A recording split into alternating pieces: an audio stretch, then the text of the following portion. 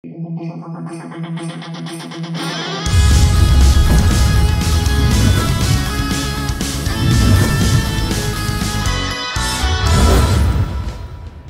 lager en vulkan. Så har du funnet fram natron, Natron, og så står jeg med noe eddik her. ja, vanlig natron, eller du kan bruke bakepulver.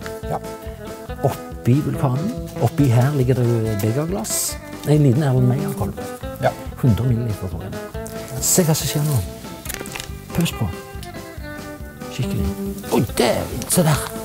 Yes, yes, yes, yes. Skulle vi heve ned litt farge?